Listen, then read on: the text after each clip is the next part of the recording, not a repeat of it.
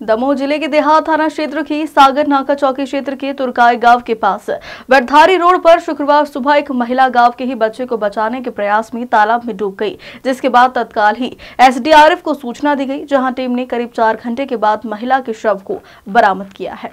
Platoon commander Prachi Dubey ने कहा कि स्थानीय लोगों ने बताया है कि शुक्रवार सुबह तुरकाई गाँव में करीब 30 फीट गहरे तालाब के समीप एक बच्चा खेलने के लिए चला गया था, जो फिसलकर तालाब में डूबने वाला था। इस दौरान 25 वर्षीय महिला प्रेम रानी आहिरवार ने बच्चे को तो बचा लिया, लेकिन तभी महिला का पैर फिसल गया और वह पानी में डूब गई। जिसके बाद स्थानीय लोगों ने इस घटना की सूचना सागर नाका चौकी पुलिस और एसडीआरएफ की टीम को दी, जहाँ करीब चार घंटे की कड़ी मशक्कत के बाद एसडीआरएफ की टीम ने महिला के शव को बरामद किया है। दमोह से विनोद उदेनिया की रिपोर्ट।